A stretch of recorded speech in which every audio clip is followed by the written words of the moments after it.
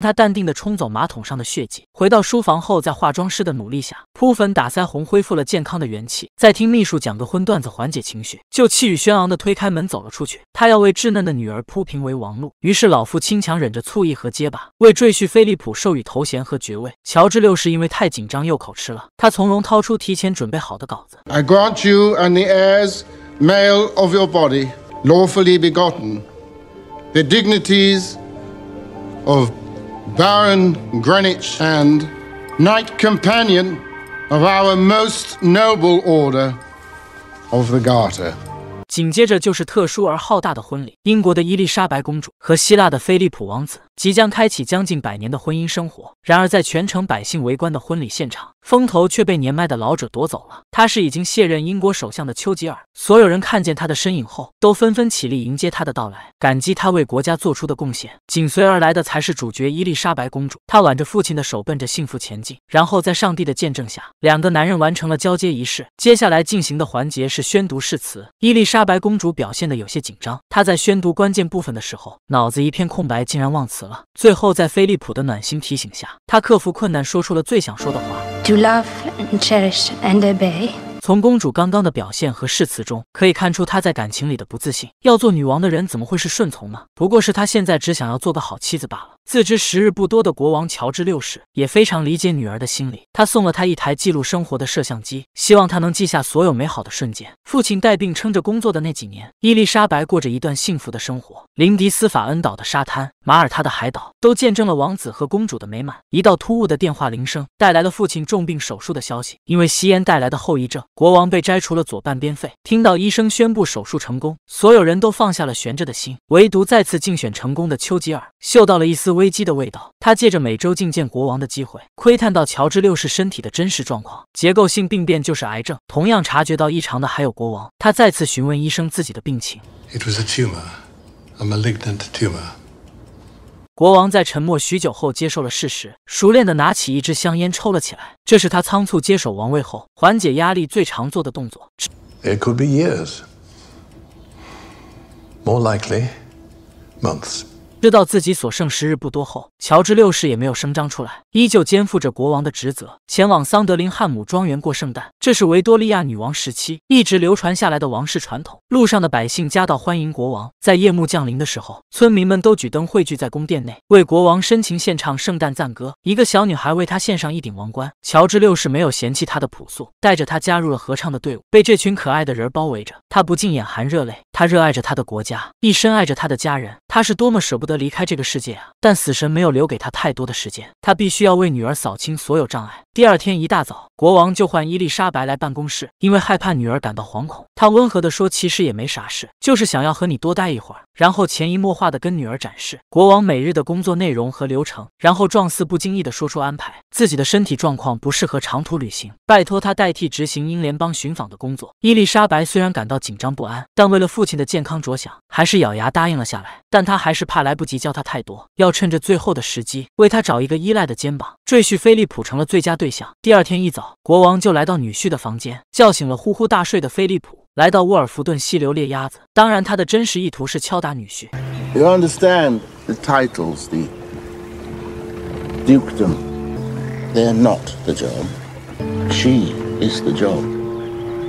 She is the essence of your duty. Loving her, protecting her. Of course, you'll miss your career. But doing this for her, doing this for me, will be no greater act of patriotism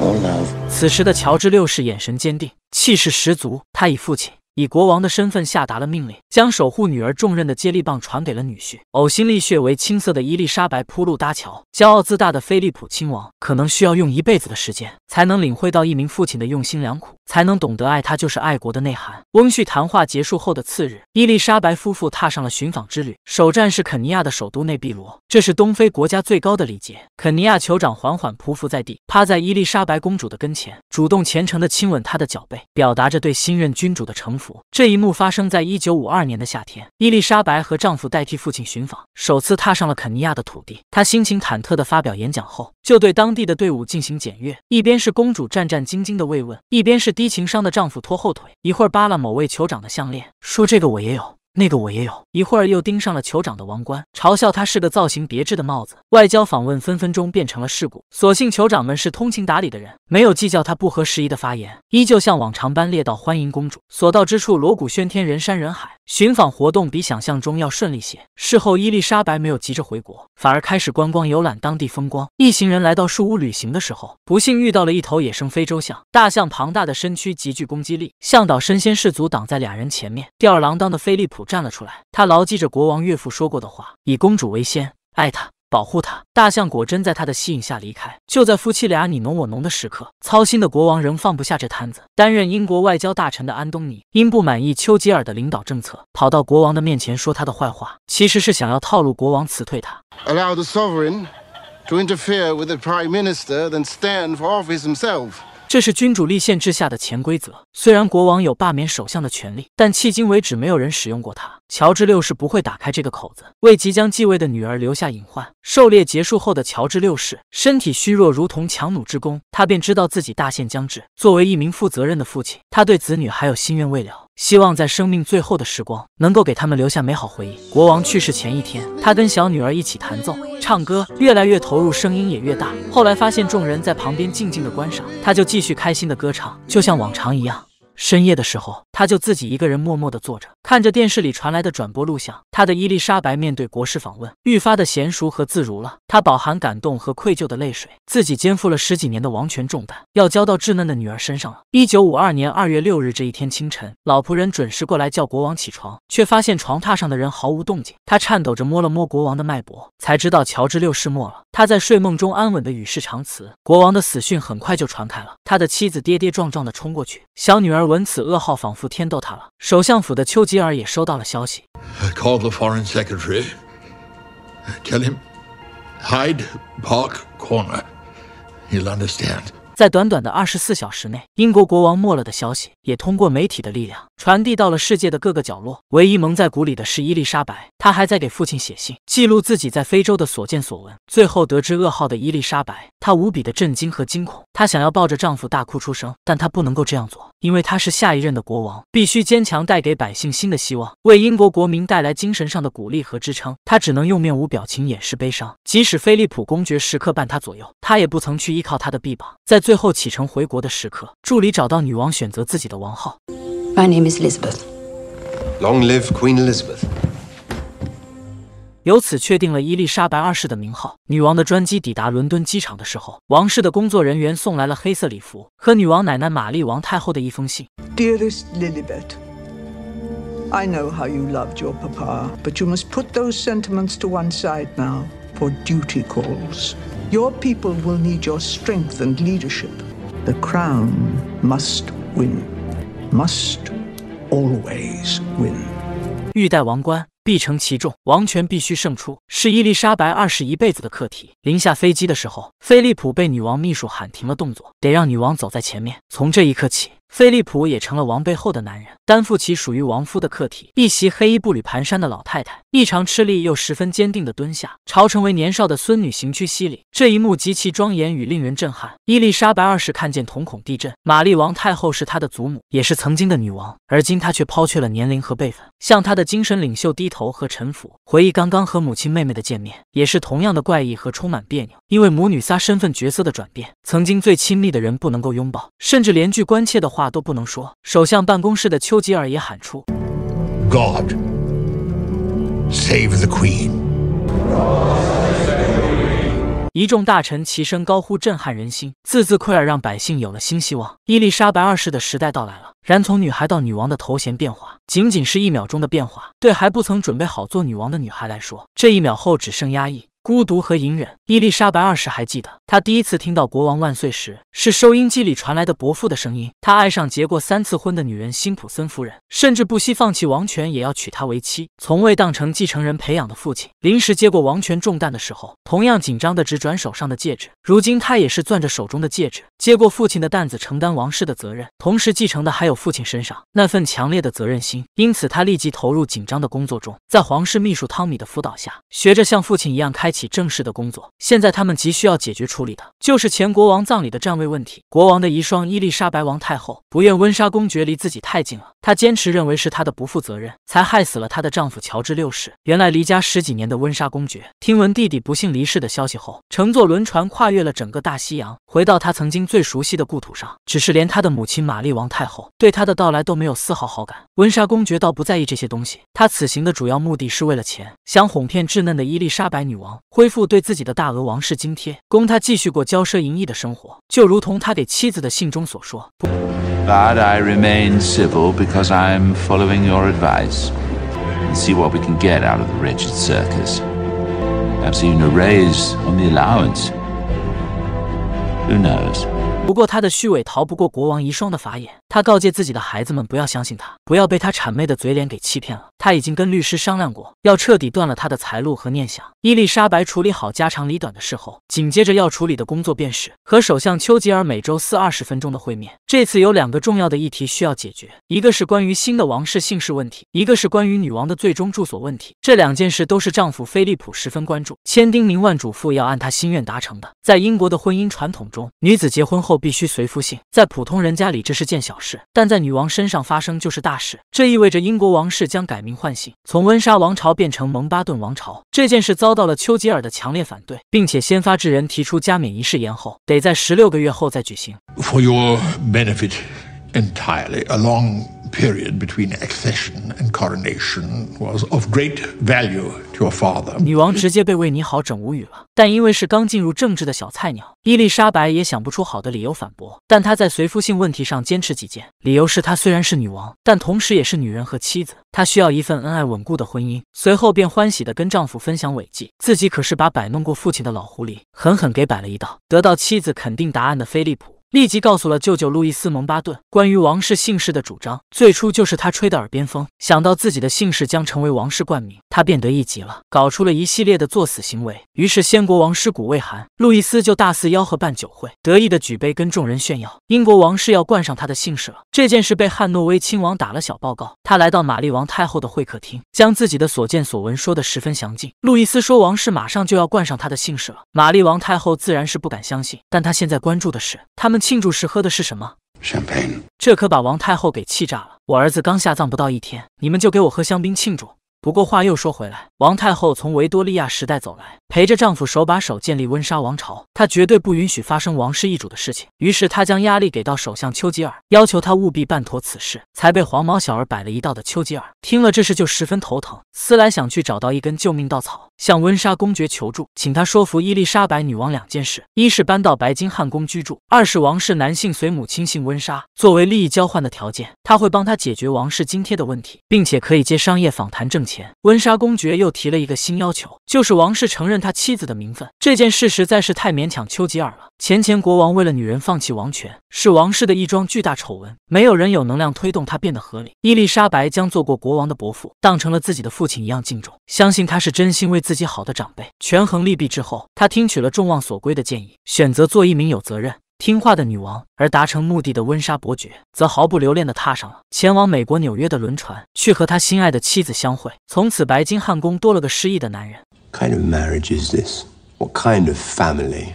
You've taken my career from me, you've taken my home, you've taken my name. 家庭事业皆无法插手的男人，只好将精力投向兴趣爱好，找到原空军的将领彼得，拜他为师学习飞行技术。然而在离开的时候，却在他桌子上发现女士手袋，他的主人菲利普也很熟悉伊丽莎白的妹妹玛格丽特。一场王室丑闻即将来临，然而最先遭遇危机的人却是内阁首相丘吉尔。这件事差点让他丢了乌纱帽，幸好他的小秘书救了他一命。二十出头的花季少女因崇拜爱慕八十岁的老头，甚至不顾时间、场合、地点，女孩也要为他提供服务。于是是老头舒舒服服的泡澡，女孩则穿着高跟鞋趴在门口，尽心尽责为他读办公的文件。为了能让他听得更加清楚，他还悄悄挪近靠在门边上，不想丘吉尔的体格像巨蟒般庞大，一个转身抬脚就溅出翻涌的水花，一出门外弄湿了女孩的裙子，吓得他直接原地起飞摔了一跤。但惊吓过后继续稳定输出。更加离谱的场景他都见过，因为丘吉尔的年事已高，在公众场合也有怪异举动，比如说开会开到一半之后，他身体一紧突感不适，竟然当众拉开了裤子拉链，然后将内阁大臣丢在一边，自顾自的跑到隔壁厕所了，留下一众大臣面面相觑，只好喝水缓解尴尬的场面。一九五二年十二月四日这天，伦敦气象局的天气观察员正在记录当天的天气数据，一组异常数据引起他的注意，认真观察对比之后，立马意识到要有大事发生，马不停蹄向上级汇报了情况。气象危机的消息层层递上去，最终以书面信件的形式送到了首相办公室的信件箱。可惜他没有引起丘吉尔的注意，扔在篮子里孤零零的无人搭理。最后被一个路过的小职员发现了，他拿着信找到工党的主席艾德里，跟他阐述了丘吉尔不作为的事实。于是几人便想借此事掰倒政敌。今夜的天空群星璀璨，任谁也不相信他会被一团黑雾遮掩住耀眼的光辉。收拾着准备下班的小秘书，恰好看见了桌子上的《丘吉尔传》，东张西望后决定带回家里，好好拜读偶像的经典思想。临走时还碰到偶像说了晚安，心情美美的提着手提包，浑然不知有一场巨大的危机正悄然逼近他的偶像丘吉尔。他烤着暖炉，盖着毛毯，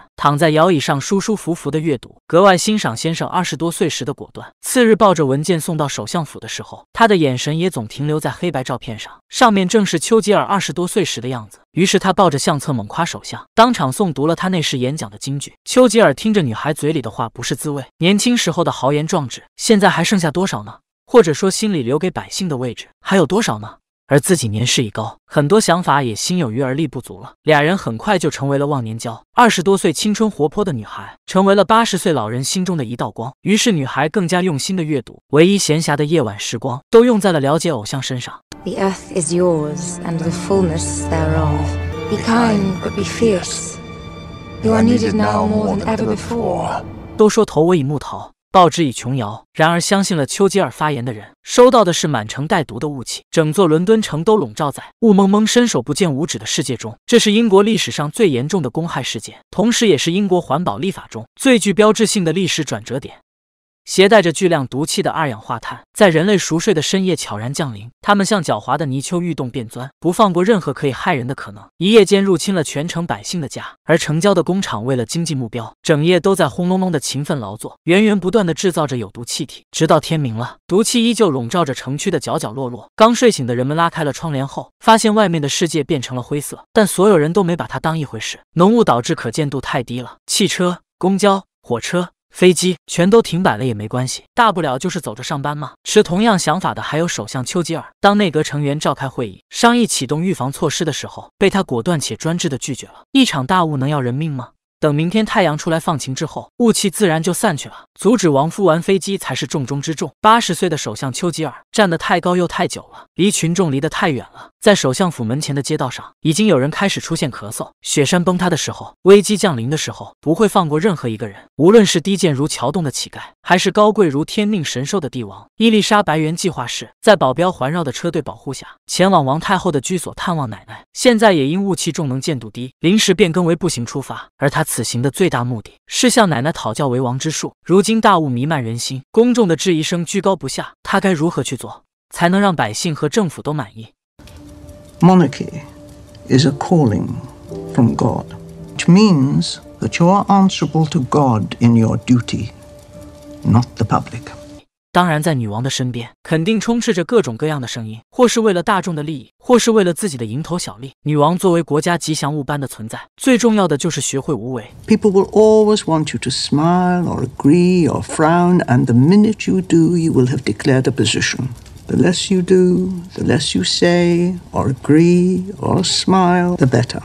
玛丽王太后的说法自有其道理，但也预示着新的矛盾与变革。传统的英国王室将走向何处？伊丽莎白也无法给出确切的答案。大家的迷茫与放任，助长了毒气的嚣张气焰。第二天。第三天，窗外的世界越来越浑浊了。秘书在窗玻璃上轻轻一擦，污垢瞬间染黑了她的指腹。静静聆听隔壁房传来的动静，闺蜜的咳嗽声愈发难受了。要是再放任不去看医生的话，她的小命可能就交代出去了。于是秘书不停催促闺蜜起身，搀扶着她前往医院治疗。走出房门才知道，街上已经挤满了看病的人，每个人都虚弱的捂住口鼻，容颜枯槁，两眼呆滞无神。医院里更是人满为患，走廊、洗手间。手术室都躺满了治疗的病人，医生病患比严重失调，医疗系统即将全面崩溃。在担任首相秘书的女孩知道这次的危机不容小觑，稍有不慎，偶像便万劫不复。于是她匆匆赶往首相府汇报。只是刚走出医院的大门，她被迎面而来的公交撞上，年轻的生命就这样消失了。政界的各路牛马蛇神也出来了，丘吉尔的政敌。工党的主席忍不住想要浑水摸鱼拉他下台，菲利普的老舅舅路易斯蒙巴顿也跑到女王跟前告状，丘吉尔正经事事一件不干呐，不去处理解决雾霾这种公共事件，一心盯着王室的家长里短，这是严重的失职行为，女王干脆罢免他的职权好了。皇室秘书汤米也不满丘吉尔对雾霾事件的处理态度，伊丽莎白摇摆后放不下他的百姓，决心罢免丘吉尔的首相职位，换更有能力的人上来解决问题。老狐狸丘吉尔自然知道，现在他惹得人神共愤，四面。楚歌听说忘年交的小秘书去世了，便摆脱万难来到医院，看着往日活力四射的女孩，面色苍白的躺在病床上，他的心里便一阵难受。没想到秘书带来了更坏的消息，女王召唤他立即前往白金汉宫。他聪明的小脑瓜秒懂女王的意图，滴溜溜的眼珠子望向窗外的人，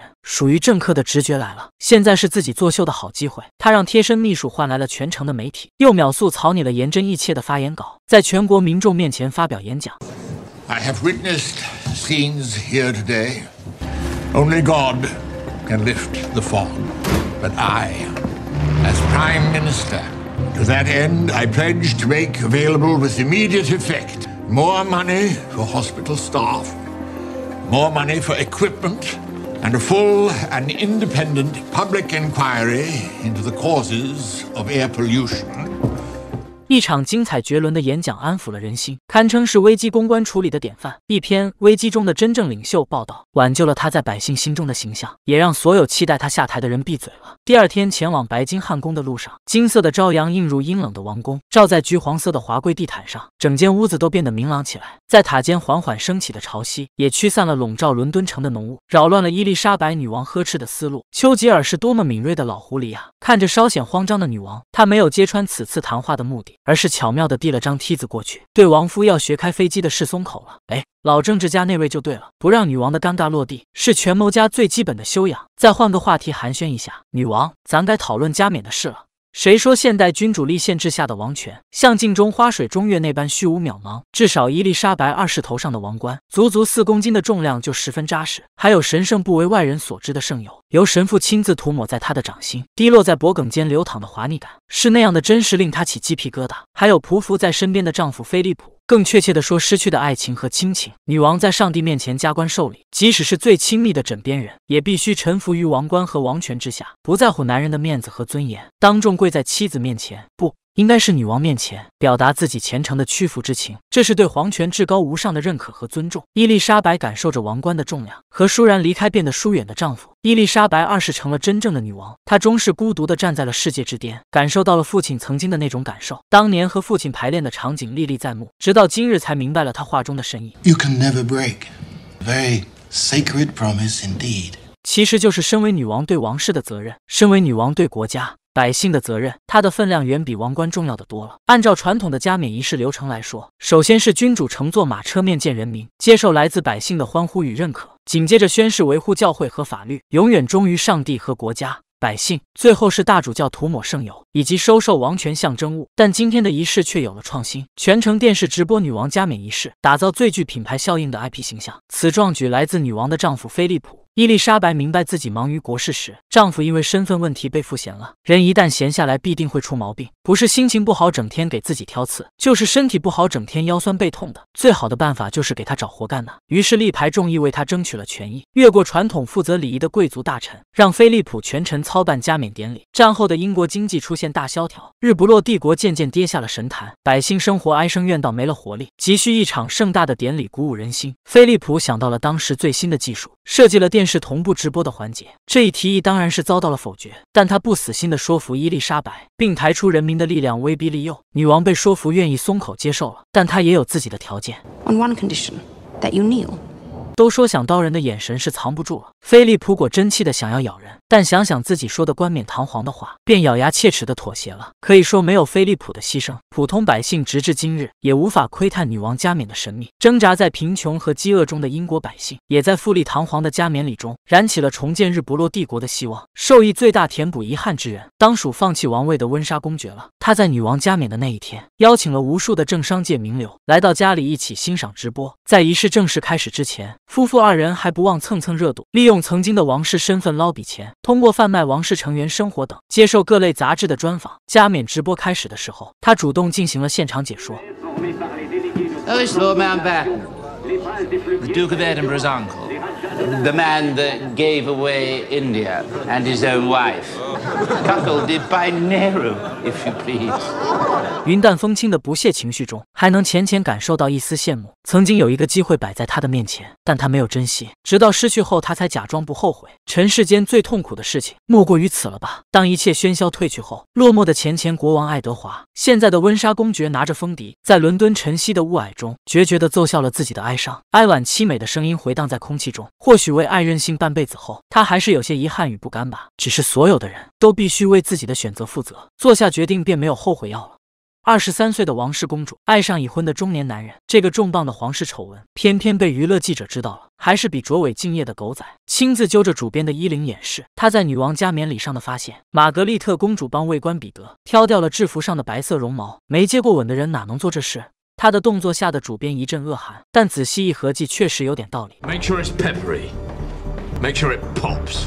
得到允许的人比发工资还兴奋，连夜构思对王室八卦进行加工。沉浸在甜蜜恋爱中的玛格丽特，大早就拨通了女王姐姐的电话。经过无数接线员的层层转接后，她终于和伊丽莎白女王对话了。可能是怕对话被转接员听到了，她扭捏许久才说了对话的目的。她主要是想跟姐姐姐夫约个饭。我菲利普和老男人彼得四人盛装出席，碰个面，坦白一下。刚从外面花天酒地回来的男人，满脸不情愿地跟着妻子去赴约。到了地方，也是自顾自地动筷子，没有要等其他人一起吃的意思。玛格丽特的话引起了他的注意，他当着大伙的面官宣了恋情。Do I have your permission, a sovereign? 要说女王跟妹妹比，还是嫩了些。从姐姐的角度来说，伊丽莎白当然开心妹妹找到幸福，但从女王。君主的角度来说，他应当从国家的律法上进行思考。可惜他被妹妹牵着鼻子思考，拍着胸脯就说会祝福他的爱情。结束晚宴，回到白金汉宫之后，菲利普首先表达了自己的看法：这绝对是一桩巨大的皇室丑闻。想想十七年前的爱德华国王，不也因爱上一名离过婚的女人，自请下台成了前前国王吗？但伊丽莎白是另外的看法。他认为彼得虽然又老又离过婚，但也是成熟英俊的国家英雄啊！妹妹和他在一起肯定会幸福的。说着说着，两人都说出火来了。而报社狗仔的新闻也赶了出来，赶紧拿给主编看看自己的大作。主编瞄一眼内容，不得了啊！这哪里是有料那么简单啊？简直是要把王室给炸飞了呀！这样重磅的新闻他可不敢发，赶紧请示了自己的资本家老板。老板一看政治雷达，也是哔哔响，这样的王室丑闻铁定不能发呀！主编也是纠结的不得了，这种事想要压也是压不住的，无非就是你先发我先发的问题罢了。于是从报社利益的角度综合考量后，他还是煽动老板一定要报道出去。老板一听，心想有钱不赚是傻子，当即就凭借强大的人脉力量，见到了皇室秘书汤米先生，开门见山的提醒他们：我们有篇王室丑闻要报道，你们记得提前做好准备哦。如此欠扁的谈话自然不欢而散。汤米立即返回王宫，找到王太后，向她请示接下来的应对方法。王太后一听，还有什么不明白的？那两个混小子瞒着自己搞事呢？她气冲冲的就要去找女王算账。伊丽莎白经过一晚上的思考后，自然也是想明白了其中的艰难，于是给妹妹拨了一个电话，小心翼翼的跟玛格丽特说：“你俩的婚礼要不要去苏格兰举办？那里的教会没有那么多规矩，不会限制王室成员和离异的人结婚，只要能达成目的，嫁给所爱之人，公主哪有什么不答应的呢？”结果两人都没美多久呢，王太后就冲到伊丽莎白办公室，动之以情，晓之以理的劝说她：“你妹妹是万万不能和彼得结婚的，理由自然也是和菲利普一样的，这是一桩巨大的皇室丑闻，并且还搬出老母亲的身份说事。” Obviously, we want Margaret to be happy and have the man she wants, but we must do everything in our power to protect you as queen and as a sister. 随后又搬出一七七二年的皇室婚姻法， 上面禁止少不经事的王子或公主和不体面有污点的人进行联姻，因为这会玷污王室的名声。因此规定了未满二十五周岁的王室成员，他的婚姻必须征得君主的同意才行，但二十五周岁之后就不需要了。这样就可以保全女王和教会以及和政府之间的良好关系。伊丽莎白的内心十分挣扎和为难，最后还是选择尊重宪法和王权，以君主的身份否决了她的婚姻诉求。感受到妹妹对她的疏远和不喜，她也很想任性的帮她获得幸福，但是她没有资本任性。她一旦松口支持妹妹的婚姻，就意味王权被政府和教会削弱。于是她只能忍受妹妹的不理解，做一名冷漠无情的君主。当然，也有她人性的劣根性。为了杜绝两人同框的机会，伊丽莎白带着彼得出国访谈，但。媒体最爱的就是跟风与八卦。女王在访谈路上的风头全被八卦中心的彼得抢走了，所有的聚光灯都对准了他。演讲的女王反而被忽略的彻底。伊丽莎白看见后自然不喜，加上得到公主承认的男人也飘了，竟然在公共场合喊女王的乳名，这真是不把自己当外人呐。于是，一纸调令和专机没来的回去就送国外驻扎了。但彼得也是个实在的心机男，他无法违背女王的调令，却在离开的时候写了封电报，添油加醋的说了自己的遭遇。千里之外替姐姐访谈的公主。在看到消息的那一刻就怒了，立即打了跨洋电话质问老姐。又是一轮繁杂的转接又转接，女王那边的电话终于接通了。Been against this from the beginning because you can't bear to be eclipsed, can't bear to be outshone by your younger sister. You've never liked it. Admit it. You fail to protect me. I will fail to protect you in return. 对话被接线员听得一清二楚。新的危机再次砸向伊丽莎白，但现在她首要解决的问题是学识被碾压的自卑。你能相信吗？英国的伊丽莎白二世竟然是没有学历的文盲，她生平从未参加过一次考试，也没有学过数学和科学等基础学科的通识教育。那天，母亲正在念报纸的内容，读到俄国氢弹试验成功的消息，女王听到后立即插了一嘴，问：“什么是氢弹啊？”母亲尴尬地瞄了报纸几眼，她也不了解什么是氢弹，只好说这个对你一点也不重要。现场的气氛一度陷入凝滞。此次事件的后遗症是，女王每次看报遇到不懂的问题，都会拿小本本记下来，弄懂为止，避免跟其他大臣打交道的时候只会做恩恩爱爱的哑巴女王。幸好皇家秘书汤米的到来打破了母女俩尴尬的氛围。秘书前来是要跟她告别的，他已经六十岁，准备要退休了。感激女王对自己工作的支持，伊丽莎白一听她要退休了，兴奋地说：“是不是要选新秘书了？”他想要。之前的那个秘书马丁，其实皇室首席秘书退休前都已经培养好合格的接班人，根本就没有女王选秘书的环节。无奈伊丽莎白二世开了金口，只好将马丁塞进了候选人队伍。于是他在办公室召见了马丁，跟他分享了再次共事的好消息。秘书一听，简直就是天上掉馅饼，按理说怎么轮也轮不到他呀。伊丽莎白则一脸傲娇地说：“I was hoping it might be possible for me to make my own decision just once.” 只能说女王现在有多自信，王后打脸就打得有多肿吧。随即下发了她的第一个命令，帮她找一名家庭老师学习。她的要求非常简单，有文化、幽默点。幽默的怪老头一出现，就给了女王一个下马威，让伊丽莎白陷入了极度自卑。The higher school certificate, for example. All right, the school certificate then. Any privately tutored equivalents thereof, perhaps? 女王的手都要搓出火花来了，没有。他全都没有，甚至不知道高等教育是什么，连夜跑到母亲家里跟他吵了一架。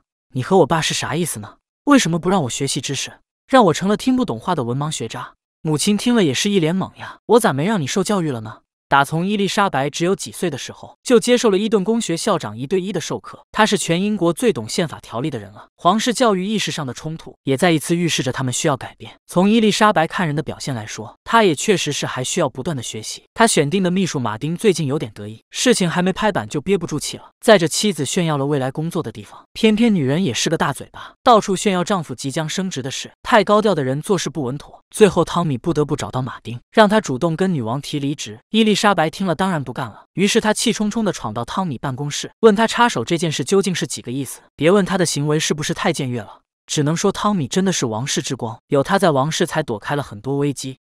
And it's in the small things that the rot starts. Do the wrong thing once, it's easy to do it again.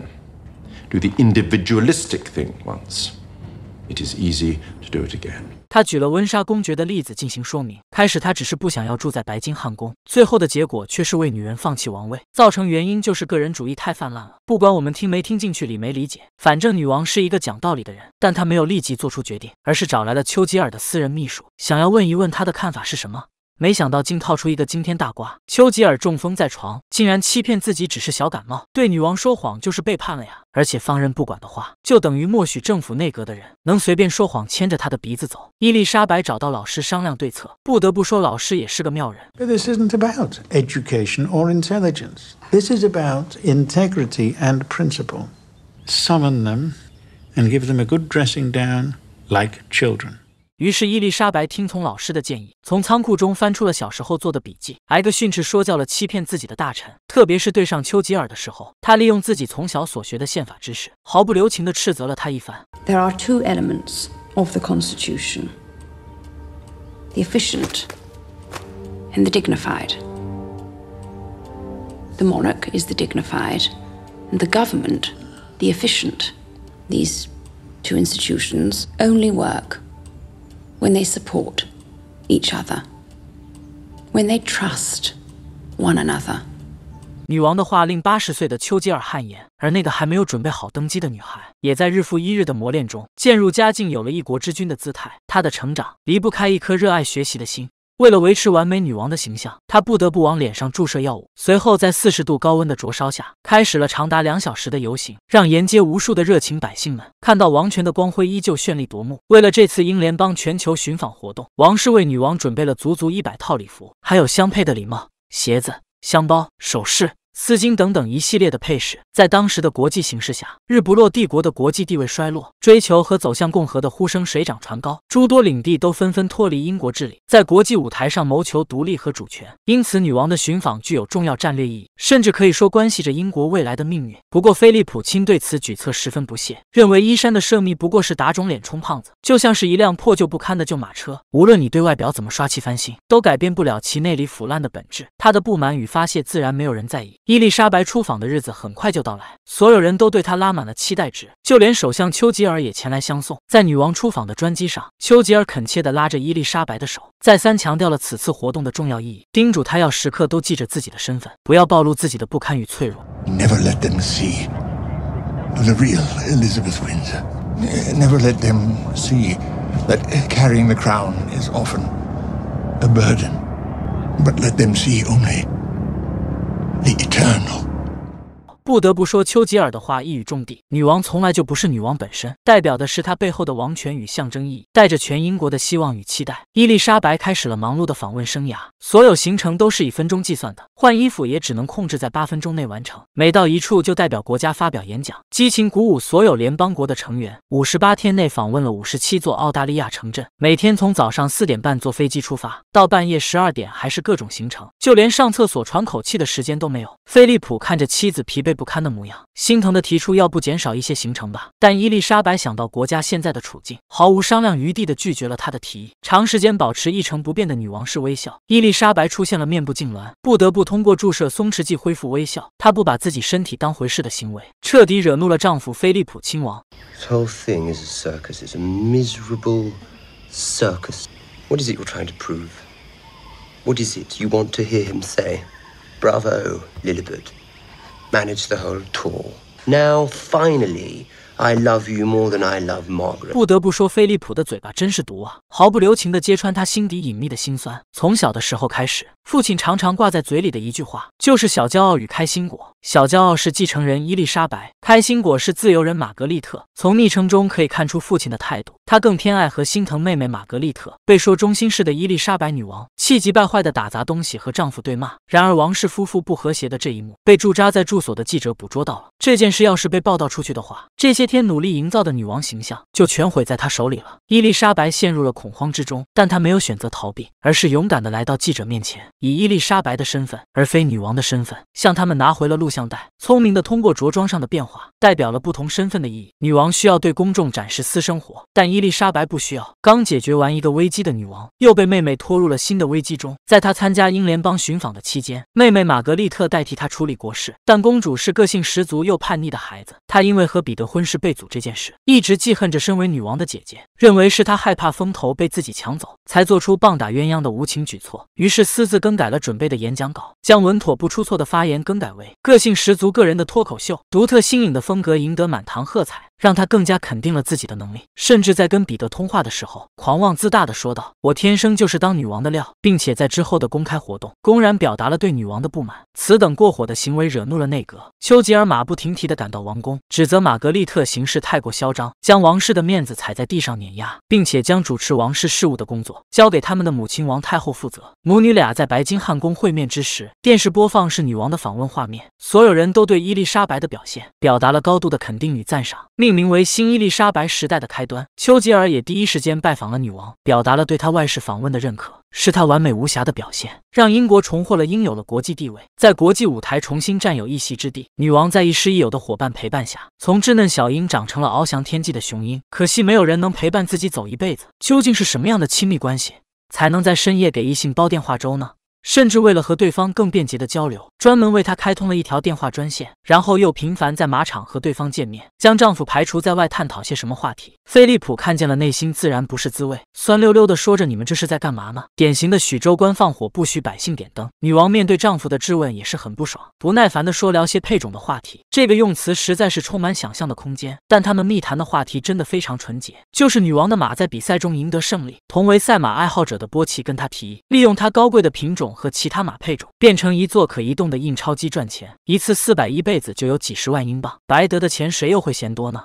伊丽莎白自然是心动不已。王室一家小打小闹不平静的时候，首相丘吉尔则过得非常滋润安稳，时不时坐院子里画下画或喝喝茶，惬意的时光被妻子的到来打破。上下议员为他的八十大寿送了礼物，是英国知名画家萨瑟兰画的肖像。今天是画家前来拜访作画的日子，两个画家初次见面便一见如故，互相探讨关于绘画的心得与技巧。现在丘吉尔最在意的就是他的形象，不停叮嘱对方要把自己画的帅一点。结果当模特没一会儿就昏睡过去。敬业的画家毫不客气地叫醒了他，见他清醒后，又继续开始他的大作。连续几天的漫长肖像画终于结束了。丘吉尔在送画家离开的时候，对他表达了自己的期待之情，其实就是暗搓搓的说成品要帅哦。十一月三十日，丘吉尔生日这天，他终于看到了心心念念的肖像画。只是画布揭开的那一刻，他直接被气得颤抖起来。画中之人年迈且没有精气神，跟他想象。中伟岸的形象相去甚远，他认为这是画家对自己的嘲讽，于是将他叫了回来，兴师问罪。Age is cruel. If you see decay, it's because there's decay. If you see frailty, it's because there's frailty.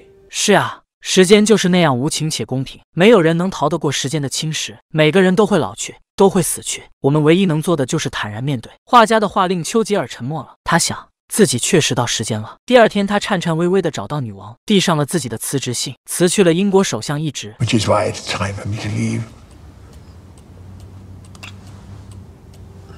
当他在白金汉宫前与接替自己职位的安东尼握手时，标志着属于丘吉尔的时代结束了。而那幅让他敏感的肖像，也在大火中变成一捧灰烬。失去人生导师的女王伊丽莎白，在未来的帝王路上依旧充满挑战，国事、婚姻。亲情都羁绊着他，特别是在妹妹的婚事上，他一次次的努力协调。He advised that there was no easy way around the governing rules of the Royal Marriages Act. You were fidei defensor, defender of the faith. That was the oath you made at the coronation. My tragedy is that I have no kingdom. You have it.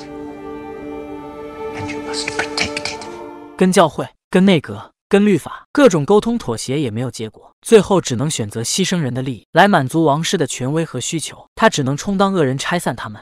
I cannot allow you to marry Peter and remain part of this family. That is my decision. 在失去亲人、爱人支持、理解的时候，他终于将女王变成了女王。我们光芒万丈的荣光女王，终究还是变成了孤身一人。或许孤独才是人生的常态吧。Forgetting Elizabeth Windsor now. Now only Elizabeth Regina. 欲戴王冠，必承其重，献给所有负重前行的人。